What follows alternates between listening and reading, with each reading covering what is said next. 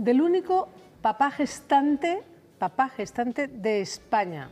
Se llama Rubén, es de Madrid, tiene 27 años y está ya con nosotros. ¿Qué tal, Rubén? Buenas tardes. Hola. Buenas tardes. ¿De cuántas semanas estás?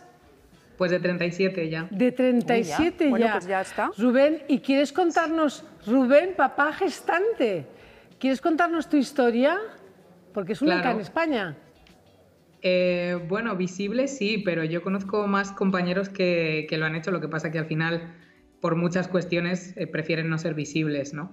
Y mm, bueno, yo soy una persona trans y he tenido la, la posibilidad de acceder a estos servicios por la seguridad social, tras pelearlo muchísimo, la verdad, pero aquí en Madrid eh, tenemos una ley desde el 2016 que, bueno, ha sido el hilo del que tirar. Estamos viendo fotos tuyas de tu embarazo, de tu, de tu barriga. Sí. Bueno, continúa, perdona, Rubén, que te he cortado la historia. ¿Tú en qué momento, si es que decides que, que quieres, eh, bueno, pues hacer el cambio de género, eh, que además quieres, ser- quieres eh, tener un, un hijo, ¿cómo ha sido ese proceso? Pues es que en realidad yo siempre he sentido este deseo de gestar a mi, a mi bebé, ¿no? Esto me ha acompañado toda mi vida, entonces también ha sido un poco complicado el hecho de encontrar mi identidad, porque al final he crecido con referentes y mensajes que me han dicho todo el rato que si quería gestar un bebé eh, tenía que ser una mujer, sí o sí. Entonces cuando yo he encontrado referentes y he, descubierto que esto no era verdad, que yo podía no ser una mujer y además eh, gestar a, a mi bebé, eh, ha sido cuando yo inicié todo el tema de la transición, pude poner nombre a mi identidad y, y a partir de ahí cuidé mucho el proceso de, bueno, de preservar mi fertilidad, ¿no? porque todo el tema del tratamiento hormonal eh, pues nos dicen que, que lo que produce es esterilidad y entonces yo antes de, de empezar un tratamiento hormonal lo que hice fue acceder a la congelación de óvulos. Tanto para acceder a la congelación de óvulos como al área de reproducción asistida, yo sí he sido la primera persona que lo ha conseguido aquí en Madrid por la seguridad social. Porque eh, a raíz de la ley esta que, que te comento del 2016 es cuando hemos podido las personas trans acceder a estos, a estos recursos. Y ha sido fácil porque, claro, llegas a un hospital, igual te atiende un día pues, una enfermera, otro día otra, en fin. ¿Cómo ha sido la experiencia? Ha sido complicado porque al inicio eran muchísimas puertas cerradas. Eh, como no había precedentes, nadie sabía qué tenía que hacer conmigo, ¿no? Nadie sabía, sabía dónde me tenía que, que mandar, eh, nadie sabía si yo podía acceder o no realmente. De hecho, eh, cuando accedía al área de reproducción asistida, eh, mi caso, bueno, tuvo que pasar por un comité de ética del hospital eh, para que me dijeran si yo podía o no podía acceder, ¿no? Y todo esto es porque no hay precedentes, porque no hay ninguna persona eh, registrada en masculino que, que, haya accedido por la seguridad social a, a, estos recursos. Entonces, bueno, estuve esperando unos cinco meses aproximadamente y, y a raíz de ahí que me dijeron que, que sí podía acceder, bueno, pues ya inicié eh, todo el tema del tratamiento y demás. Sí, sé que has renunciado a muchas cosas, que tenías muy claro que querías eh, la, eh, tener un, un, hijo propio, pero es que me dicen que quieres también eh, darle de mamá, vivir la experiencia Sí. de la lactancia. ¿Puedes? Sí. Sí, eso es. Sí, en mi caso sí, porque no estoy operado de mastectomía, que es la operación para, eh, digamos, quitar el, el pecho. Y, y, yo precisamente no me he realizado esta operación porque quiero vivir la experiencia, también porque para mí es algo importante de cara a mi bebé. Entonces, bueno, ha sido algo que he preservado también.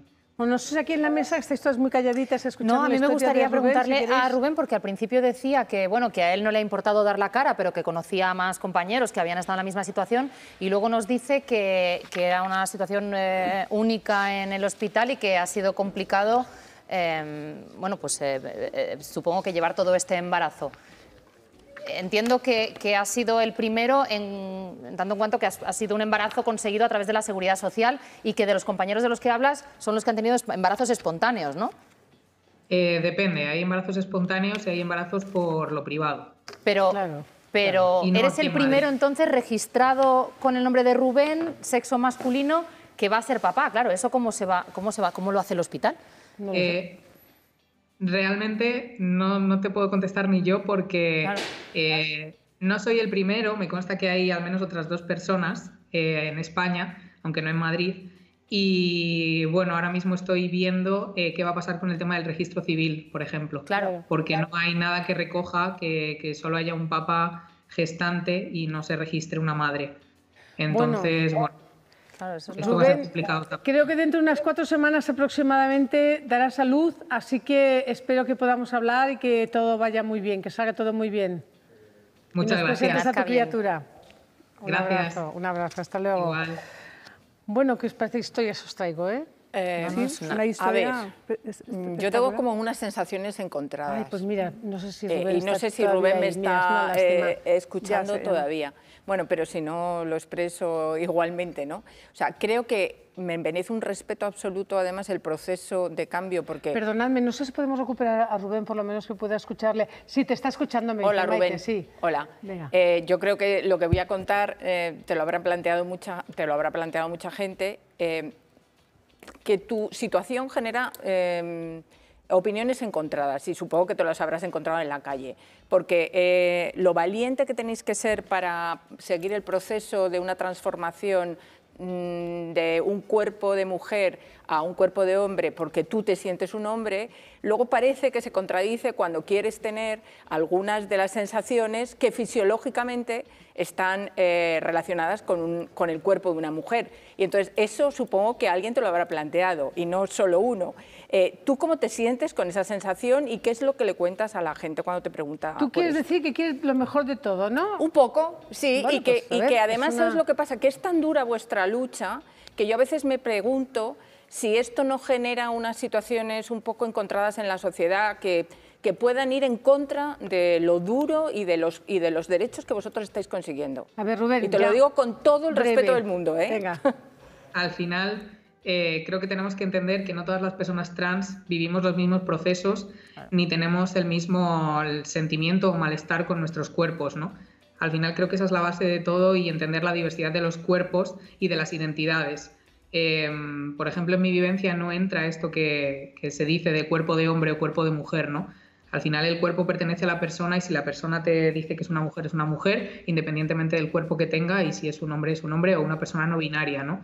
Al final creo que partiendo de esta base entendemos que si nacemos con un cuerpo que puede tener la posibilidad de gestar, ¿por qué no vamos a llevarlo a cabo? ¿no? Y que se generen eh, controversias quizá eh, con el resto, eh, bueno, sí, se generan, pero para eso precisamente yo lucho por ser visible, eh, para que se entienda ¿no? Que, que no tenemos por qué seguir el mismo camino y seguimos siendo personas trans igualmente.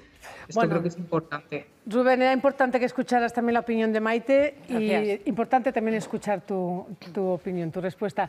Gracias, que vaya todo muy Que vaya bien, todo repito. bien.